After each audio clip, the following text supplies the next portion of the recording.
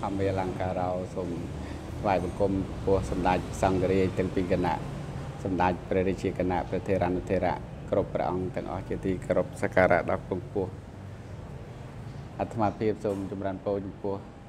សម្ដេចត្រង់ឯកឧត្តមលោកជំទាវ បាសកបាសិកាលោកយាយលោកតាពុកម៉ែបងប្អូនជនរួមជាតិទាំងអស់ជាទីជ្រះថ្លាហើយជាពិសេសសូមចម្រើនពរចំពោះ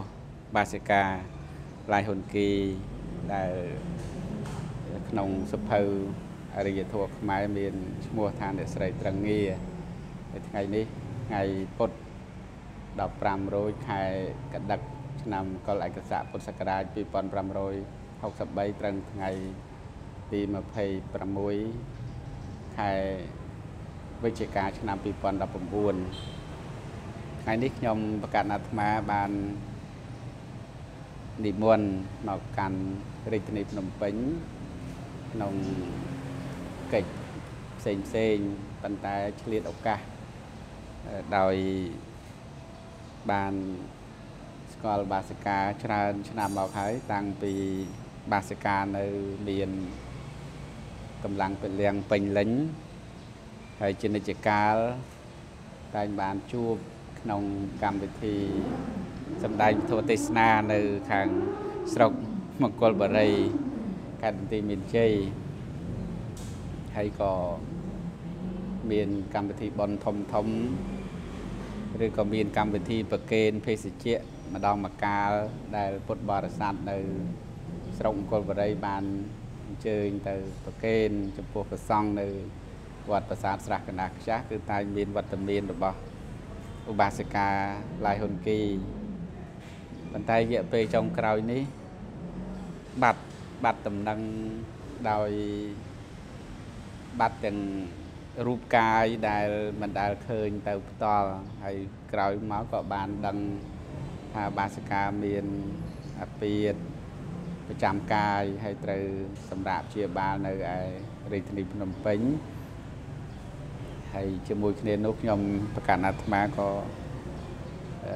និមន្តមកសួរសុខទុក្ខផងហើយចង់បានផ្ដល់បទសម្ភាស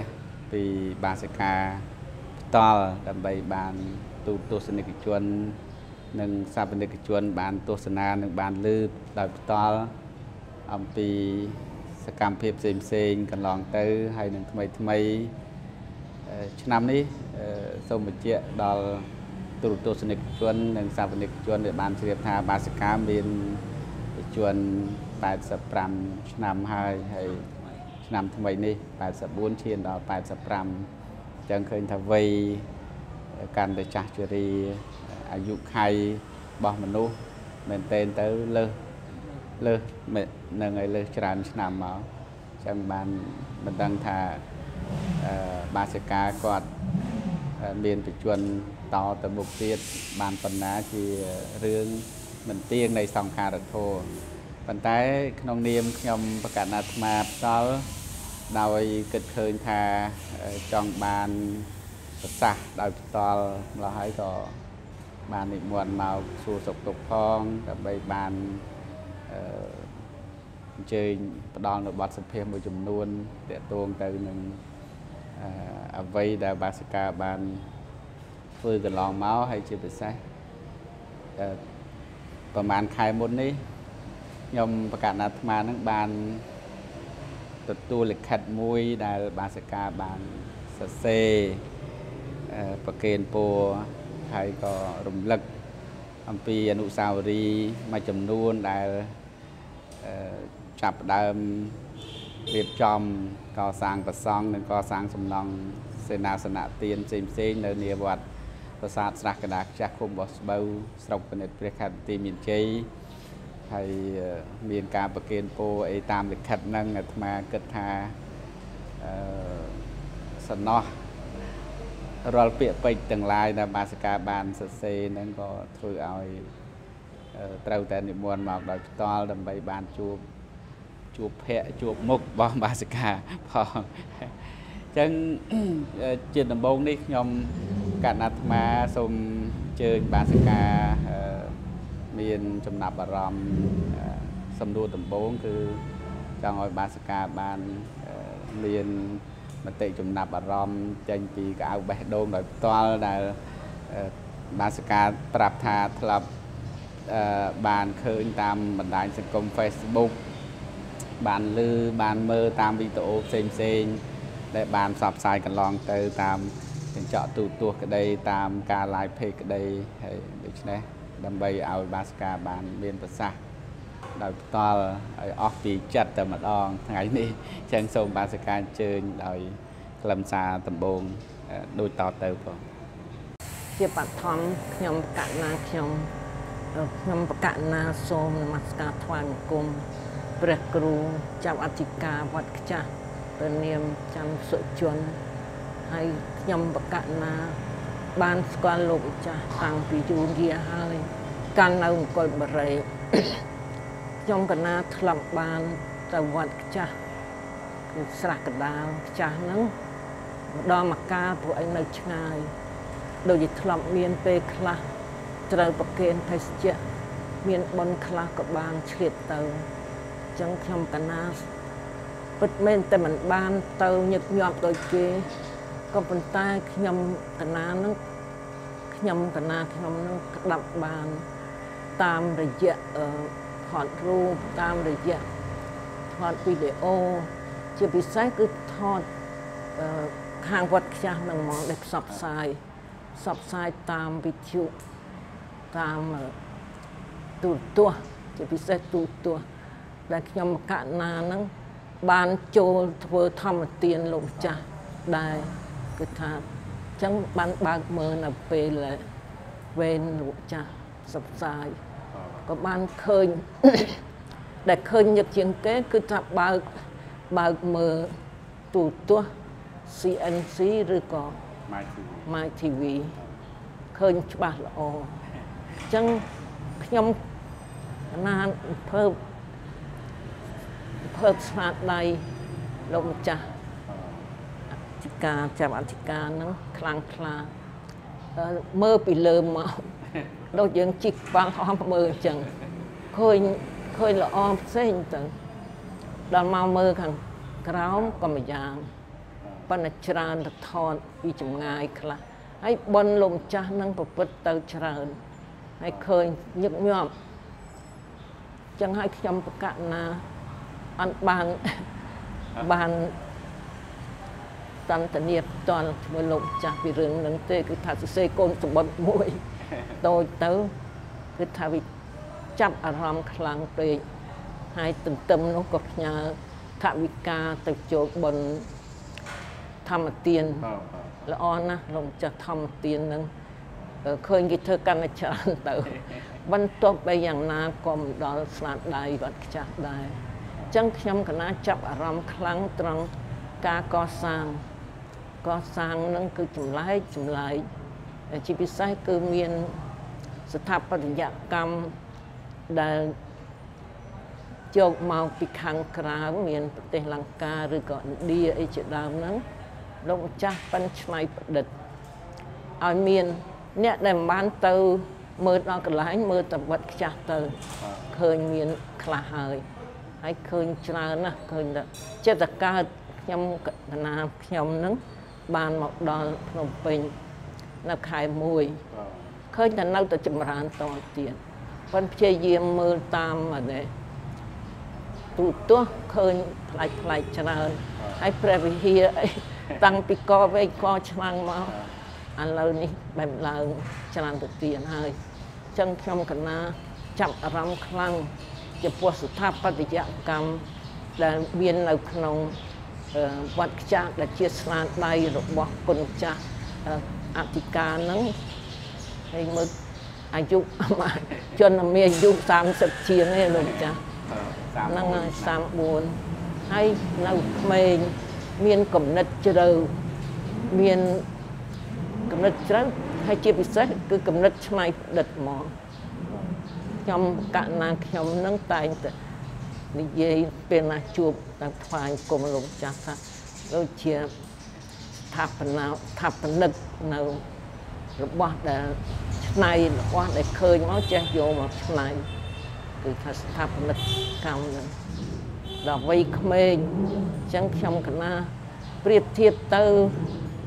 ស្ថាបត្យកម្មនៅក្នុងប្រទេសកម្ពុជា ដែលបានឃើញនៅចិត្តចិត្តខ្លះនិងឆ្ងាយខ្លះ គឺតែប្រៀបទៅវាមិនមានអ្វីដែលប្លែកលោកម្ចាស់នេះបានទីធ្លាធំមានដីធំហើយនឹកសង្ឃឹមថានឹងបានស្ថាបនាគឺថាសាងសង់ថែមទៀតចេះតកានឡើងកានឡើងអញ្ចឹងខ្ញុំកណាននឹងត្រីអហើយត្រីអចូលបុណ្យកុសលនឹងក៏ត្រីអនឹកឃើញថាជាវត្តមួយ ជាគំរូជាទីដែលគួរទៅបើបានទៅផ្ទាល់ច្រើនដងក៏ជាការល្អប៉ុន្តែមើលចងាយក៏ក្រាន់បើជាងអត់អញ្ចឹងខ្ញុំកណាននឹងកោតសរលោកម្ចាស់ត្រង់ត្រង់មកគឺថាឃើញថាវ័យក្មេងខ្ញុំតែងតែដាក់ឈ្មោះថាស្ថាបនិកដល់វ័យដល់វ័យខ្ចីមានវ័យខ្ចីណាស់ ស្ថាបត្យករហើយឆ្នៃប្រឌិតជាវិស្វករសាងសង់អញ្ចឹងនឹងខ្ញុំកណាននឹងចាប់អារម្មណ៍ច្រើនហើយក៏មានចិត្តសទ្ធាទោះបីមកឆ្ងាយជាហើយក៏នៅផ្ញើលុយកាក់អីទៅចូលបុណ្យកសាងផ្សេងផ្សេងទៀតដែរអញ្ចឹងខ្ញុំកណាត្រីអរណាស់ដែលបានលោកចាស់ចៅអធិការវត្តនិមន្តមកផ្ទាល់ ព្រោះមានសេចក្តីនឹកលឹកយូរហើយខានជួបហើយលោកម្ចាស់សុខភាពល្អបរិបូរណ៍ក្នុងផ្លូវចិត្តប្រហែលជារីករាយពេញចិត្តនឹងការងារនឹងខ្លាំងណាស់ហើយធ្វើបន់ម្ដងម្ដងមានតាំងពីលខោនមានតាំងពីលបាំផ្លែកលោកម្ចាស់នៅក្រោយមកលបាំនឹងដូចកែនអស់ហើយពីពីពីភ្នំពេញទៅកាន់ច្រើនណាស់ ផ្លាច់ផ្លាច់ច្រើនចឹងខ្ញុំបកណានឹងសូមកោតប្រសើរដល់ស្មោះស្នាដៃលោកម្ចាស់ដល់វ័យក្មេងហើយលោកម្ចាស់ប្រហែលជានៅមានការសាងសង់អ្វីអ្វីឲ្យល្អតទៅមុខជាតិចឹងឲ្យខ្ញុំបកណាសូម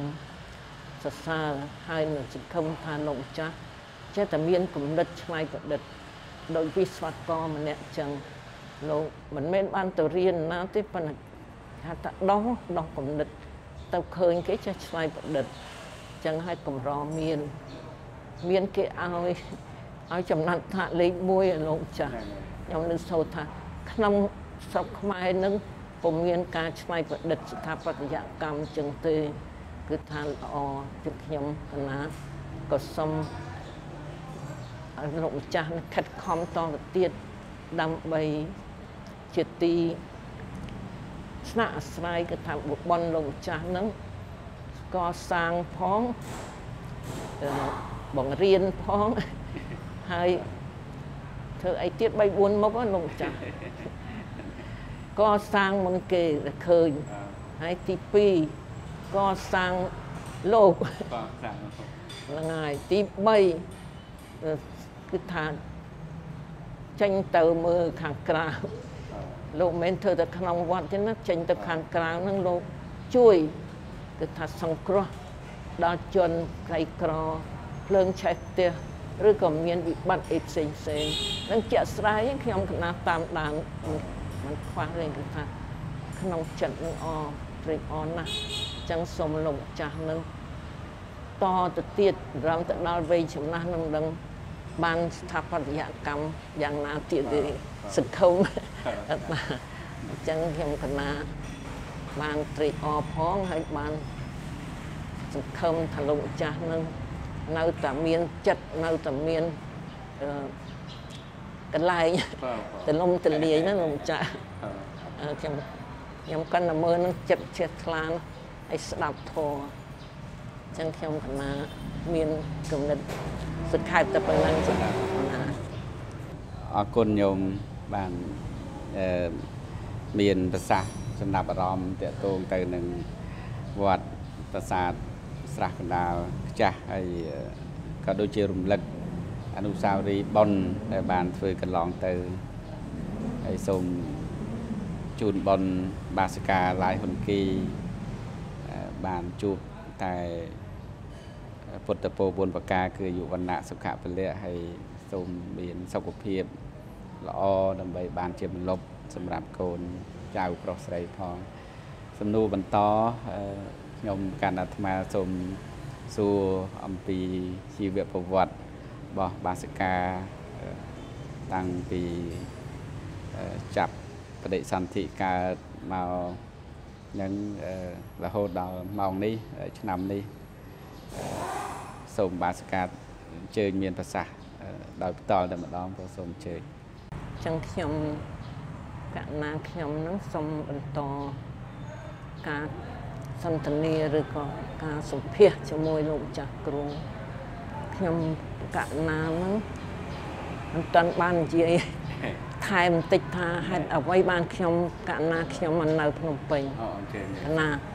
ព្រោះអ្នកដតីអត់ទាន់ដឹងទេដឹងតែខ្ញុំនៅខ្ញុំកណានៅនៅមង្គលបារីនៅ ធ្វើបន់ធ្វើអីចិត្តដឹកជាមួយបាត់លួងណា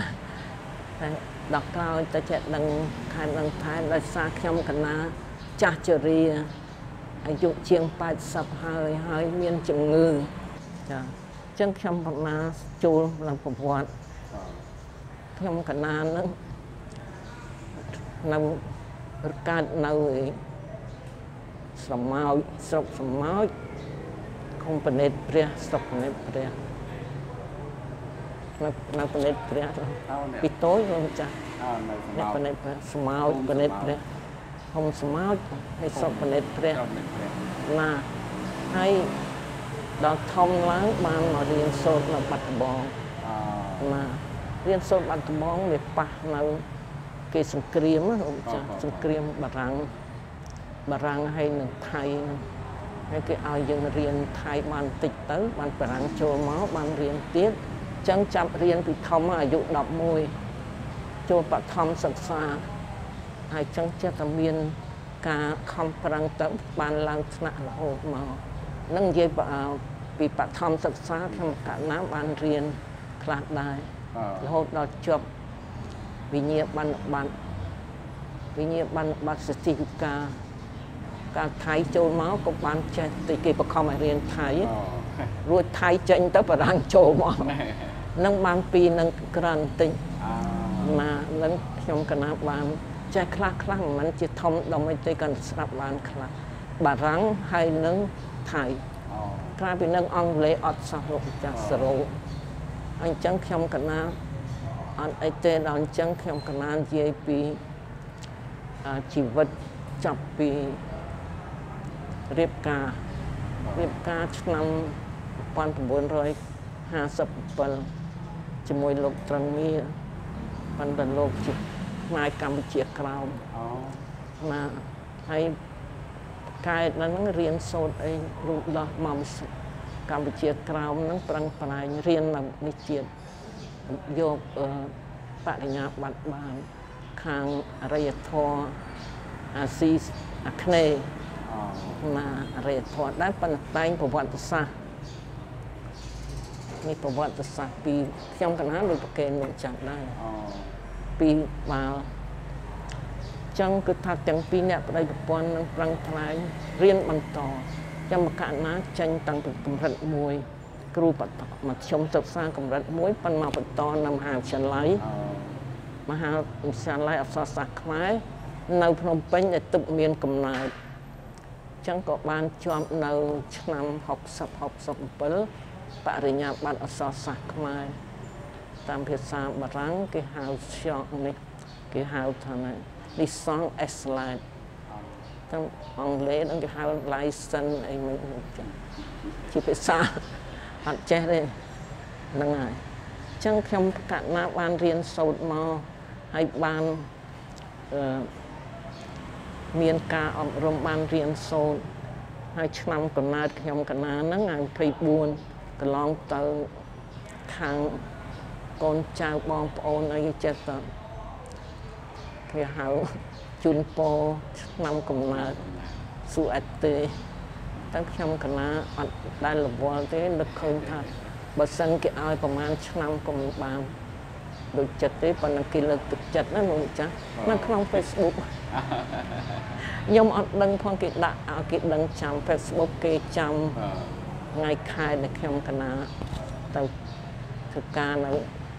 គេថាទៅនឹងគេដឹងដឹងរបស់អ្នកណាគេគេហៅឡើងដូចថាគេគេបង្ខំឡើងដើម្បីឲ្យសម័យខ្លួនដឹងខ្លួនមិនបាច់ចាំអខ្ញុំកណាភ្ញាក់ខ្លួនទៅសັບតសិស្សដែលខ្ញុំរណាបរៀនសិស្សនឹងវា វាច្រើនឆ្នាំមកហើយទាំងសិស្សនៅបឋមទាំងសិស្សបឋមដែលចូលតាំងពីអឺអនុជាឡើយអឺចូលវិទ្យាល័យអឺបានរត់ទៅបានស្គាល់ច្រើនមកភ្នំពេញមានអតីតសាស្ត្រច្រើនដែរគេមកសួរសុខទុក្ខចឹងទៅឬឃើញឈ្មោះនៅក្នុង Facebook ហ្នឹងជូនពរឲ្យលោកចាក់បែបប្រទេសខ្លះដែរខេងណា ហើយចឹងទៅបានខ្ញុំកណាវិថាអរគុណគេណាស់ណាលោកចាស់ដែលគេយកចិត្តទុកដាក់នឹងជីវិតរបស់យើងទៅអរគុណនឹងតបពីព្រឹកមាញ់ទៅវិញថាអរគុណច្រើនណាស់សូមជូនពរទៅវិញចុះចឹងនៅចឹងកំណត់ខ្ញុំថ្ងៃ24ខ្ញុំកណា24ខែវិច្ឆិកាហើយ ឆ្នាំកំណើតនោះជាក់ស្ដែង35តែខ្ញុំកណា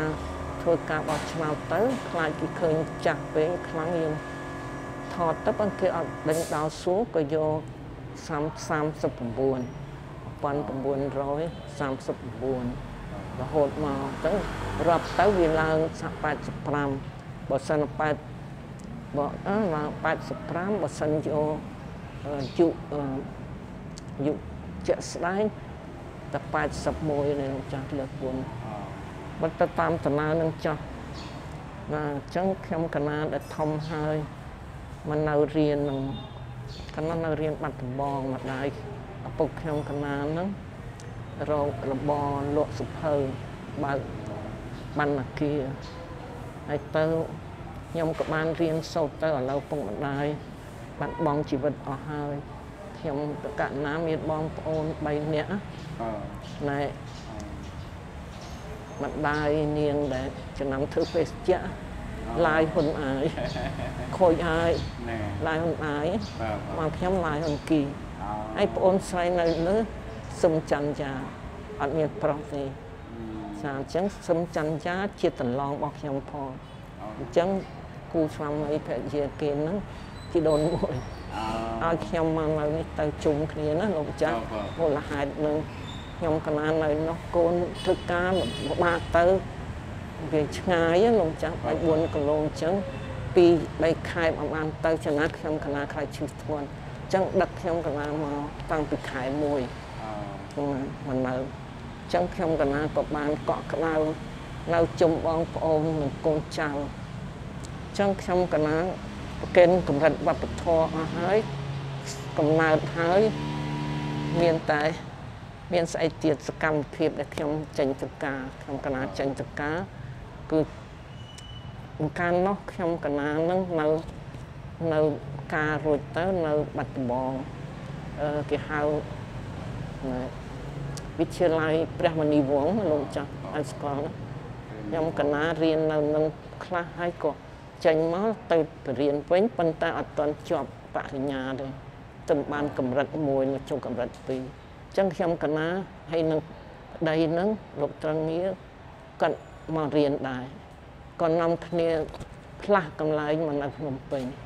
បានចូលរៀនមហាវិទ្យាល័យអក្សរសាស្ត្រដែលមានលោកវណ្ណស័ក្តិជាគ្រូអូជាគ្រូមុនណាអឺលោកចាស់គ្រូបើកឆាកមុនឥឡូវលោកចាស់ លោកខូចហើយអត់ទេប្រពន្ធបារាំងនៅស្រុកបារាំងហើយការងារនេះនេះនោះការងារដែលហៅអឺកាន់ខ្មែរមនណាវិជាឋានខ្មែរមនដល់លោកទៅបារាំងឬត្រែទៅទម្លាក់មកឲ្យលោកត្រង់ងារដែលជាប្តីខ្ញុំនឹងអឺចុងក្រោយដែលប៉ុលពតចូលមកគាត់ជាប្រធានខ្មែរមនអូណាដែលតែងសុភៅនឹង ស្រាវជ្រាវខាងប្រវត្តិសាស្ត្រហើយខ្ញុំកណានឹងក៏បាន បានរៀនចប់សពគ្រប់នៅភ្នំពេញបរៀននៅស៊ីសវណ្ណអហើយស៊ីសវណ្ណហ្នឹងបរៀនអរិយធម៌ខ្មែរនេះអឺអាហ្នឹងគេឲ្យកម្មវិធីតិចណាលោកចាស់បាទបាទបាទមកទឹកមកតែមួយម៉ោងអញ្ចឹងខ្ញុំកណាអឺពិបាកពិបាកដែល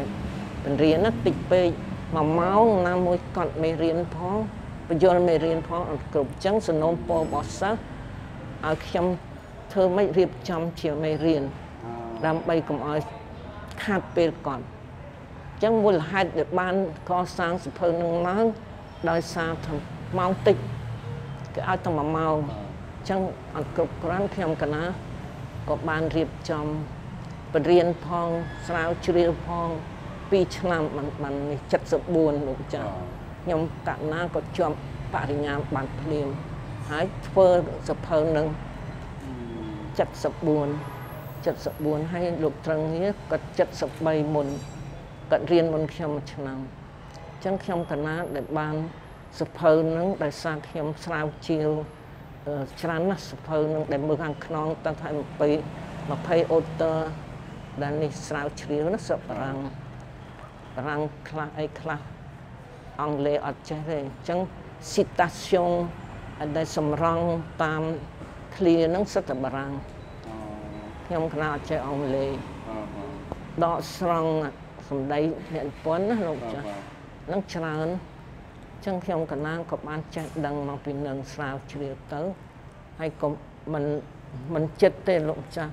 ចិត្តតែល្បីចេះចោលច្រើនហើយមានថ្ងៃមួយនោះគេធ្វើសភៅ ធ្វើសភៅឯណាទៅគេមានផលិតច្រើនទៀតចម្លងច្រើនទៀតលក់ណាអ្នកអ្នកដែលមានបណ្ណាល័យឬក៏តូបដកសភៅគេខំចម្លងអញ្ចឹងអានឹងកាន់តែផ្សាយផ្សាយភាជទៅលក់ពាសពេញរហូតទៅដល់ស្រុកបារាំងឬស្រុកអឺអូស្ត្រាលីអញ្ចឹងគេមានច្រឡំខ្ញុំណាចង់ជម្រាប ព្រឹត្តិការណ៍ថាច្រឡំត្រង់ងារនិងអ្នកស្រីត្រង់ងារហ្នឹងហើយអញ្ចឹងមានអ្នកខ្លះនៅអូស្ត្រាលីកសែតនៅអូស្ត្រាលីហ្នឹងបានរសេរសម្បត្តិមកសុំអនុញ្ញាតខ្ញុំណាថាខ្ញុំនឹងជាជាម្ចាស់ប្រវត្តិសាស្ត្រខ្មែរអញ្ចឹងសុំឱកាសអឺថតសុំឱកាសស្រង់អត្ថបទខ្លះផ្សព្វផ្សាយនៅអូស្ត្រាលីខ្ញុំឆ្លើយទៅវិញថារបស់លោក ត្រង់ងារជាប្តីខ្ញុំទេអញ្ចឹងវាវាច្រឡំទៅហ្នឹងណាលោកអឺលោកម្ចាស់ឥឡូវអ្នកស្រីត្រង់ងារឥឡូវមកត្រង់ងារទៀតមិនក៏ពីរអញ្ចឹងថាកាលសម័យអាណានិគមបារាំងខ្ញុំកណាននៅឡើយបាទគេឲ្យយើងដាក់ដាក់ឈ្មោះប្តីធម៌មីលង្កាពួកយើងដឹងថាឈ្មោះល្អប្រពៃញាតញោ មតែចូលចិត្តទាំងប្រុសស្រីញាតញោមតែចូលចិត្តទាំងប្រុសស្រីយុវជនយុវតីតាយាយស្នេហាវត្តមានផ្លែផ្កាទាញបរិស័ទចូលចិត្តវត្តមានផ្លែផ្កាទាញបរិស័ទចូលចិត្តវត្តមានព្រះអង្គជួយស្រោចជួយស្រង់វត្តបានល្អពិតនេះមកពីលោកគ្រូមានគំនិត នេះមកពីលោកគ្រូមានគំនិតចេះច្នៃប្រឌិតវត្តពិតថ្កើនថ្កើនយើងបានសុខសានរួចពីទងទុនយើងបានសុខសានរួចពីទងទុន